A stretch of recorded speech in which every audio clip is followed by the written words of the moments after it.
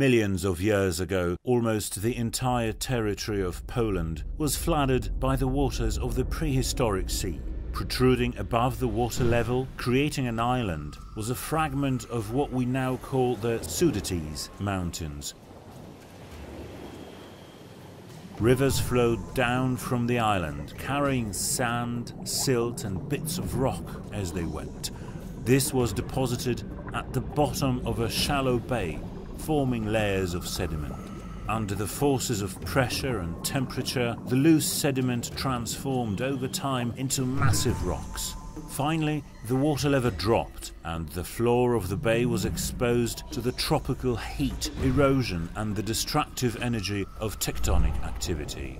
Powerful rock movements shifted, squeezed, and slowly lifted the cracked floor until it formed a plateau crossed by fault lines.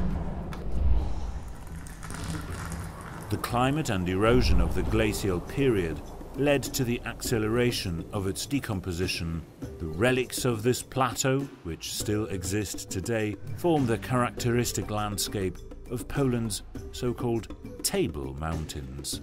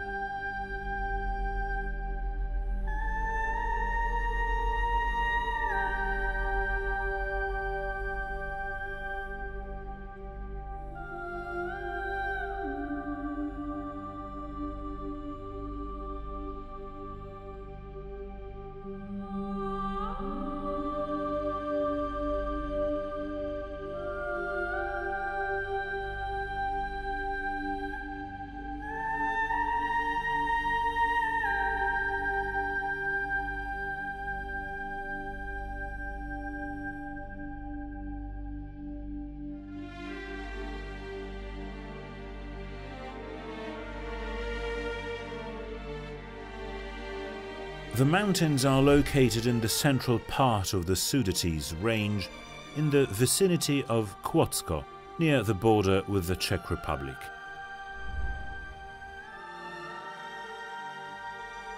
The forces of erosion have never stopped affecting our planet. Slowly and patiently, they carve into the Earth's surface. The same forces act on the Table Mountains. With gentle persistence, they gradually crush sandstone blocks, tear at fault, and carve valleys into the sedimentary rock. The sandstone remains, lying abandoned in the valleys, are evidence of the power of this force.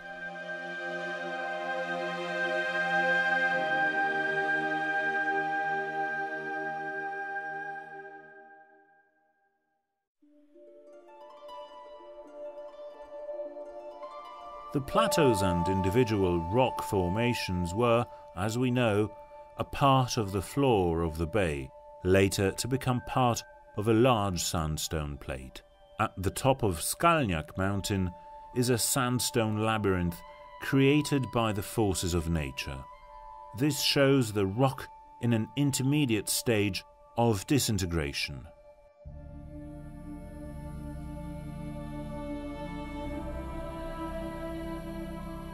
Erosion widened the narrow cracks in the sandstone to the size of corridors. They cut the Skalniak plate, dividing it into smaller blocks. Sculpted rocks and a tangle of corridors of different widths form a boulder city. The errant rocks, as they are known, are still subjected to this process to this day and are slowly disintegrating into smaller rock formations.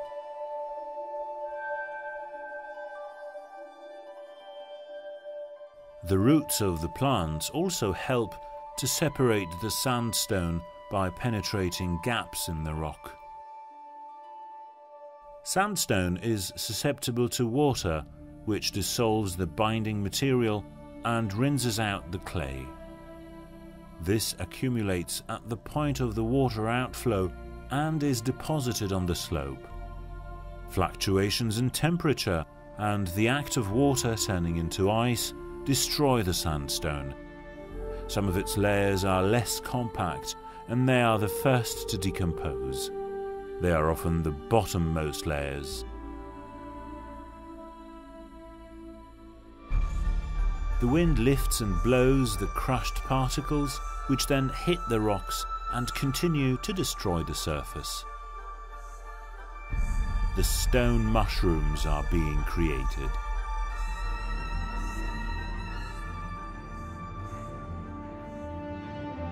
Here, sandstone plateaus are set on a less hardy substrate, which is destroyed even faster than the sandstone. The erosion of the substrate layer undercuts the top layer. Stone blocks standing on the edge slowly settle down and break off from the stone massif under the pull of gravity. This destructive process has been going on continuously for millions of years.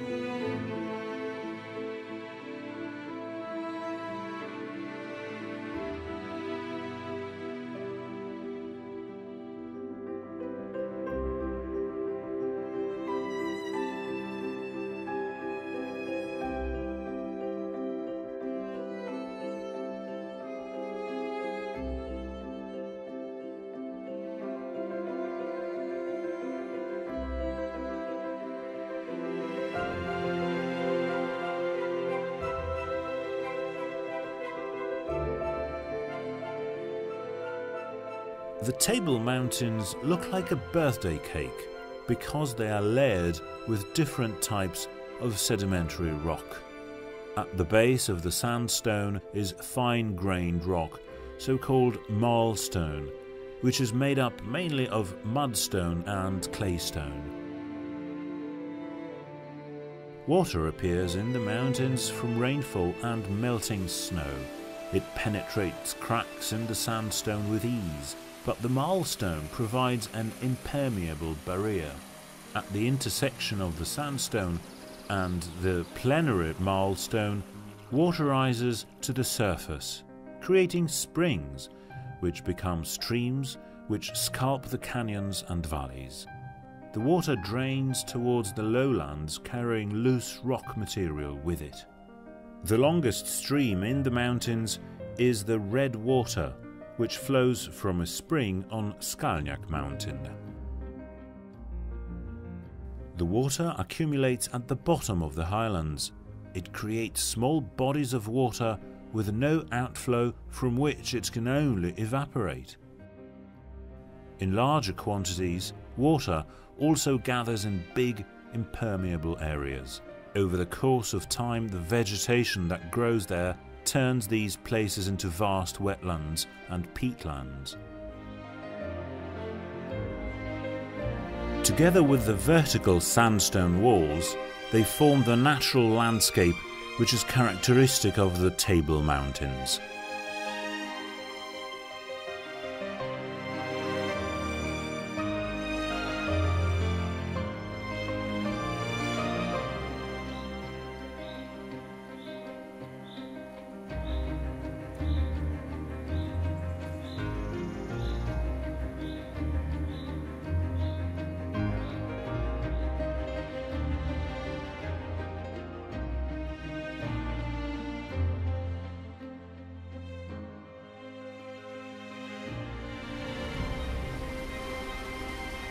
The border of the mountains, the streams descend, as we can see here, through the steep walls of the Radków threshold.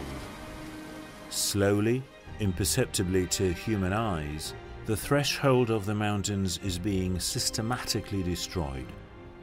From the very moment of their creation, the mountains begin the process of gradually retreating and disappearing. Millions of years ago, the threshold of the mountains was a few kilometers further away. Its remnants are now individual peaks, so called witnesses. Majestic amphitheatrical craters and the furthest forward spurs mark the northern border of the Table Mountains.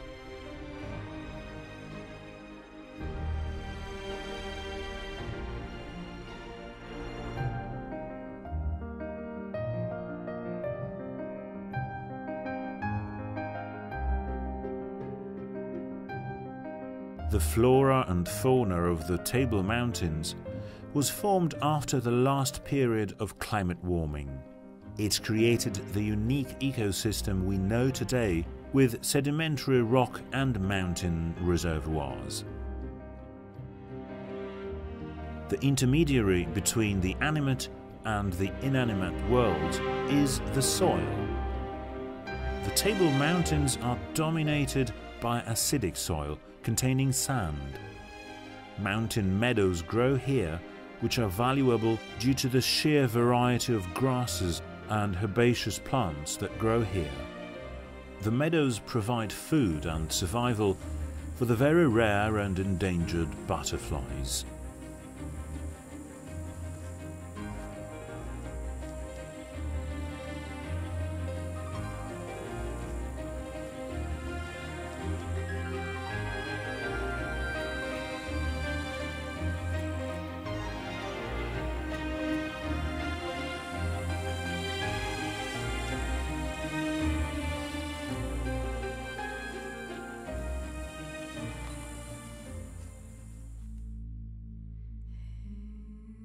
On the peat soil can be found numerous living things that favour a humid environment.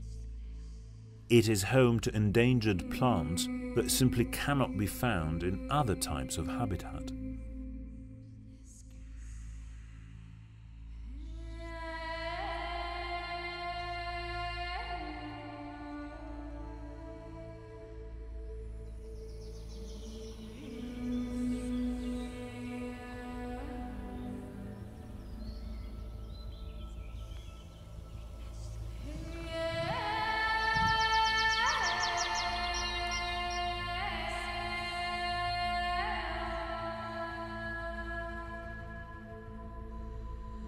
The meadows and slopes of the Rogowa Kopa mountain are particularly valuable sites.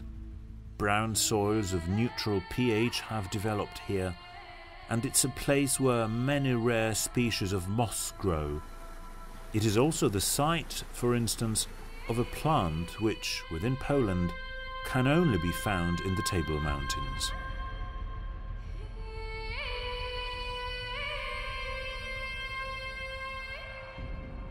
Rogowa Kopa is overgrown with the original forest of beeches, firs and spruces, which once covered most of the area of the Table Mountains.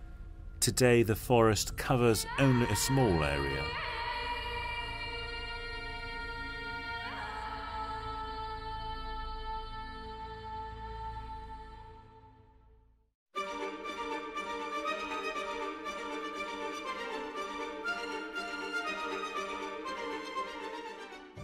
Pines growing on the sandstone bastions of Szczeliniec and Skalniak have also survived.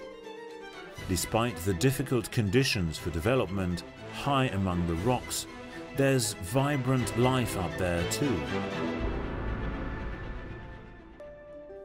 Bare, well lit and humid sandstone rocks, in particular, are occupied by many species of lichen.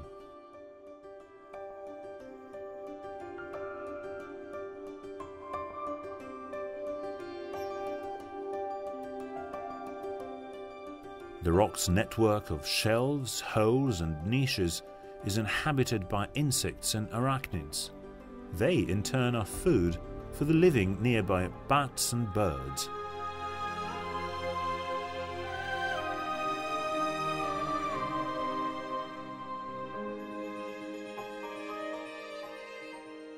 Many species of bird eagerly build their nests on the rocks, out of the reach of terrestrial predators.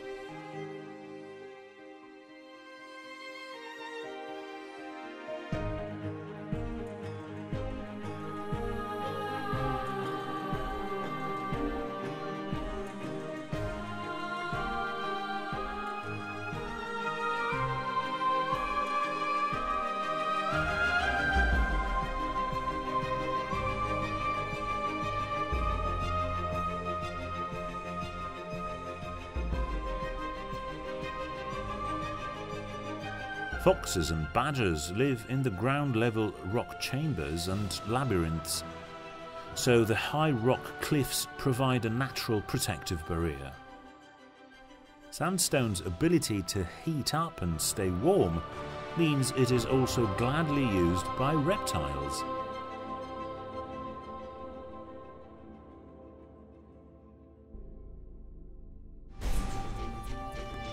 Large mammals, meanwhile, take shelter between the rocks where they feel safer. There they can hide from the only predator that has always been a persistent threat to them man. Man had little or no interest in the mountains for a long time. The terrain and climate made for difficult living conditions.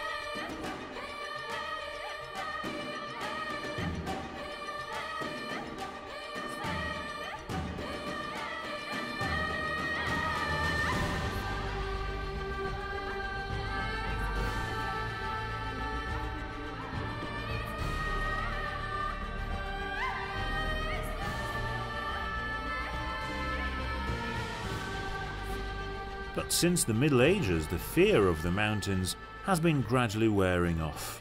Curiosity and the desire to conquer and harvest the mountain's treasures slowly prevailed.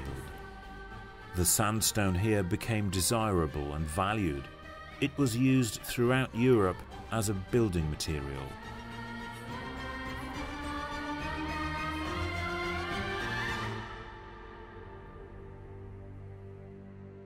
Sad fate was wrought by man upon the original beech and fir forests, which had been growing peacefully for hundreds of thousands of years.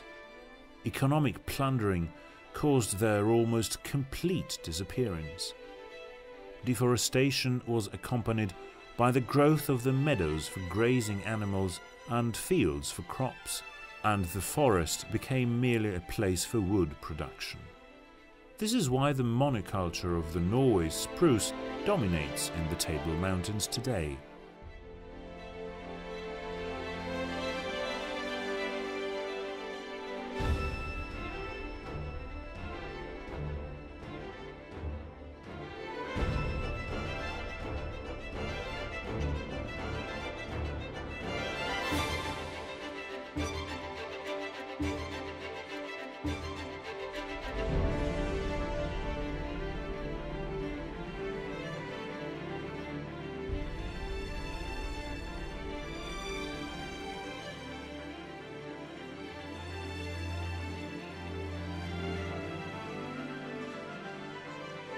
Finally, in the heart of the mountains, the settlement of Karłów was established. The inhabitants of the village cultivated rye, oats, and flax, and from this base they explored even higher parts of the mountains.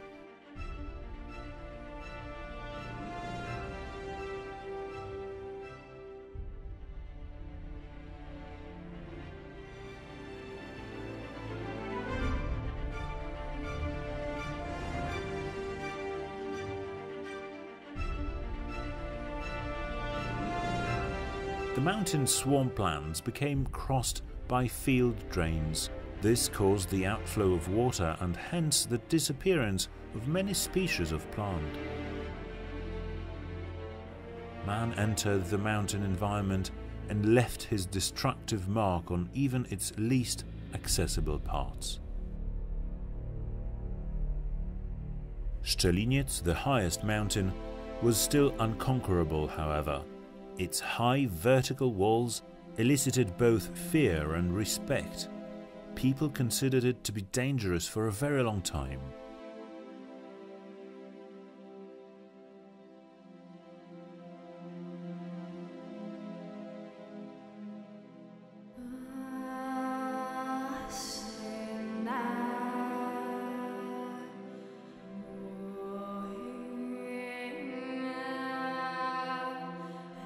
Power of human tools alone could not suffice in conquering such a peak if man was not additionally armed with the power of his imagination and beliefs. At the highest point of Szczeliniec, you can still see a trace of a Christogram. This was carved by the first conqueror of the mountain, a monk whose identity remains unknown. Was he also the first for whom the mountain looked like a flat table, a great sandstone altar dedicated to God?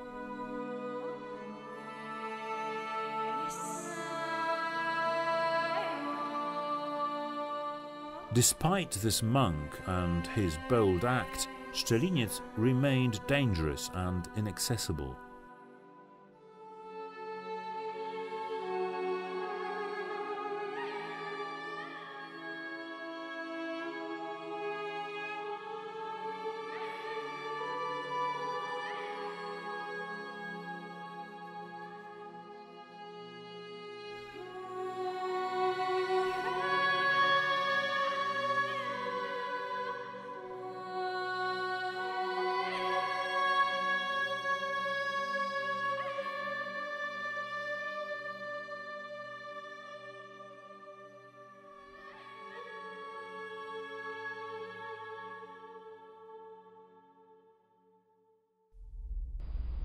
Then one day, the King of Prussia came up with the idea of making the Table Mountains into a fortress.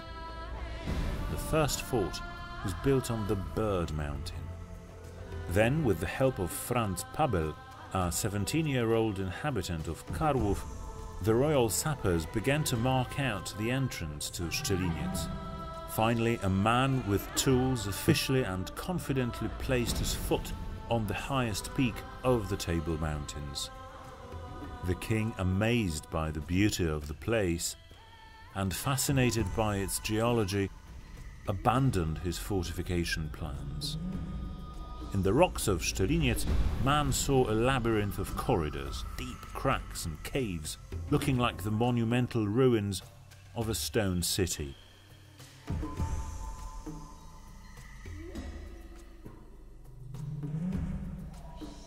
Relic of ancient history transferred directly to the industrial era of mankind.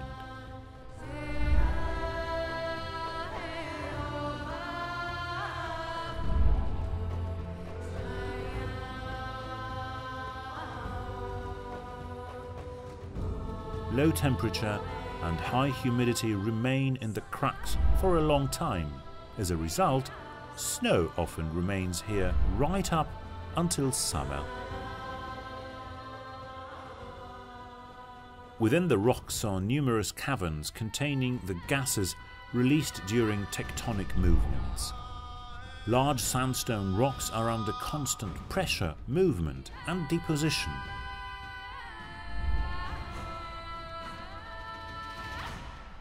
The forces of erosion have created some truly vivid forms here. They were named by Franz Pabel the first royal guide in Szczeliniec.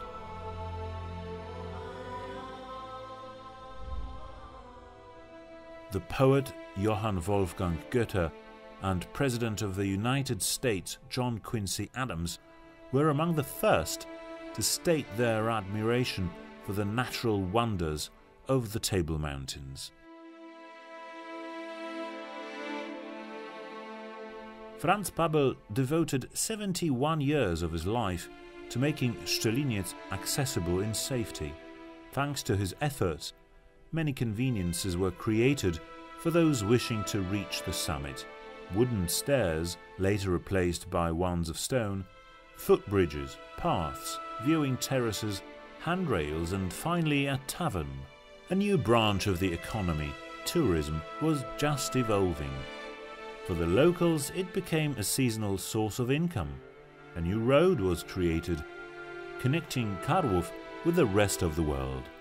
Today, this road is used by hundreds of vehicles, carrying thousands of tourists and in turn causing losses among the animal population and creating air pollution in terms of exhaust fumes.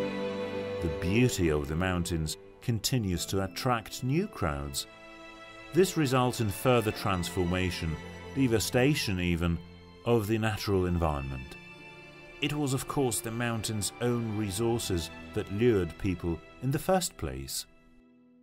At the southern borders are healing springs. They are saturated with carbon dioxide as well as the minerals from dissolved mountain rocks. The first medieval settlements were established near the springs. People came here to improve their health and then went walking through mountain trails they visited the wild and dangerous errant rocks on Skalniak mountain and maybe even Szczeliniec. Some of them, sensitive to the natural beauty of the sites, made them famous all over the world. They were described, for example, in letters by Frédéric Chopin, who treated himself with sorrel in a famous spa resort in Duszniki Zdrój. This appreciation for nature impelled man to take care of the mountains in a systematic manner. In the central part of the Sudetes, the Table Mountains National Park was created.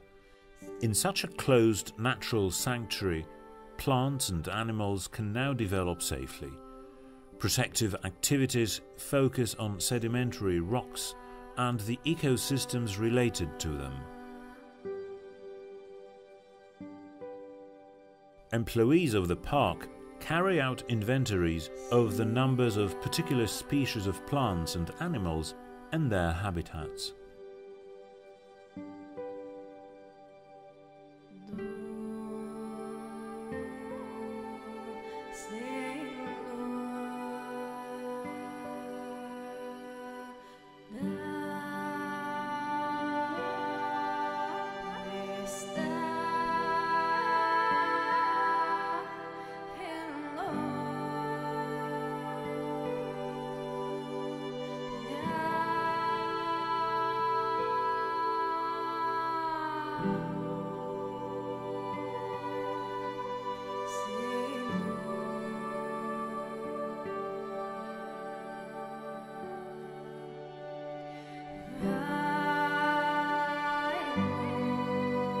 Condition of the mountain's natural environment is constantly monitored and researched, and the park is also engaged in the gradual process of repairing that which has been broken over the centuries. Activities carried out by scientists are gradually restoring the mountain's original forest stand. One day, even the Norway spruce which now accounts for as much as 83% of the species composition of the park stand, will be replaced. This monoculture is easy pickings for the European spruce bark beetle.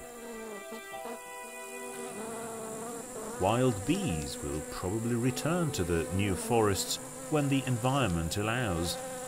There are attempts to reintroduce them into the mountain ecosystem even now.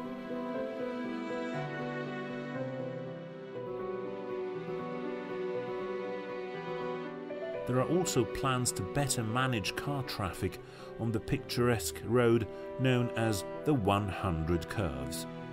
But despite the restrictions introduced by the park, the Table Mountains are still open to those that want to discover their beauty.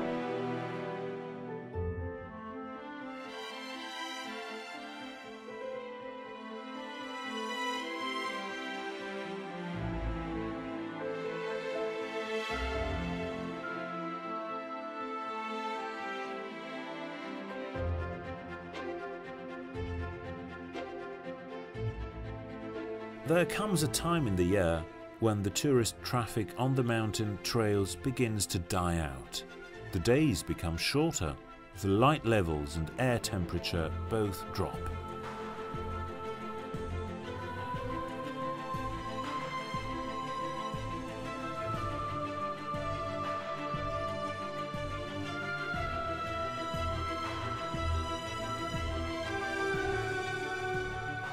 Living organisms of the Table Mountains sense the upcoming changes. They're in a rush to bear their last fruits and extend their own species with new generations. They are fighting for their lives.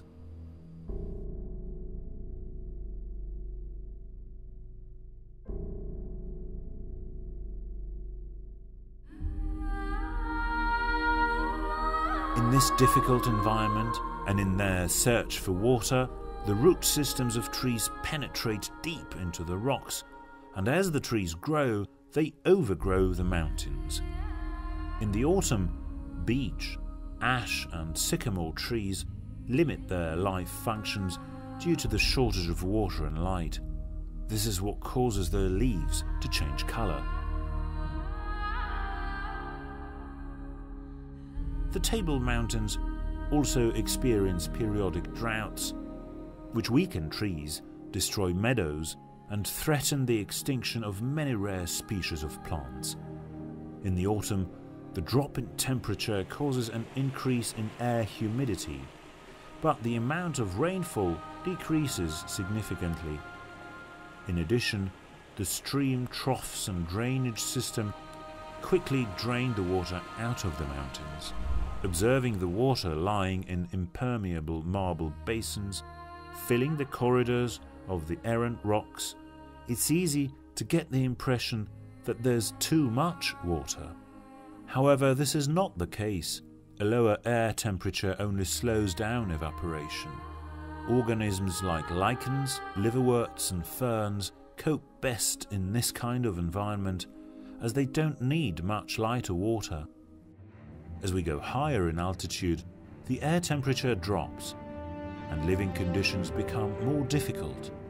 At night, cold air from the massives of Szczeliniec, Skalniak and Narożnik travels down towards the valleys. When the sun shines in the higher parts of the mountains, cooler and heavier air fills the valleys with a sea of fog.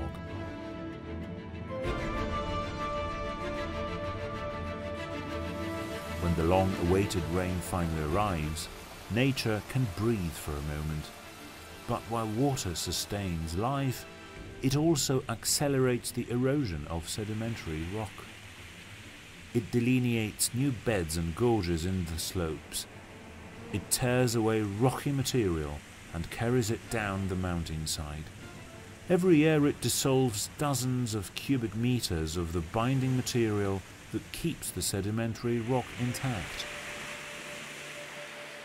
And as autumn turns to winter, the water turns into ice, blasting out sandstone and rendering the environment inhospitable to much of the flora and fauna of the mountains.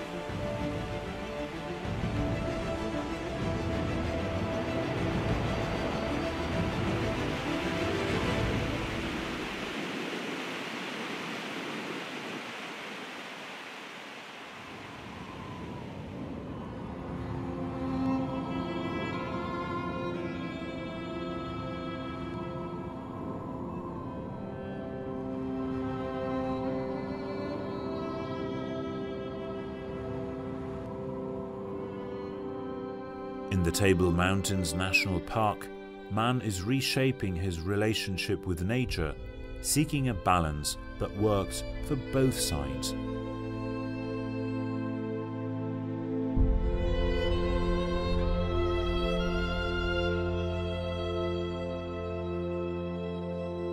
Erosion, however, cannot be stopped. Over the next few million years, Europe's highest table mountains will crumble and turn back to sand once more. The history of the relationship between people and the Table Mountains is but a short moment in the history of the planet as a whole. A special time when mountains exist in human consciousness. After all, without a human, there would be no one to admire the region's beauty.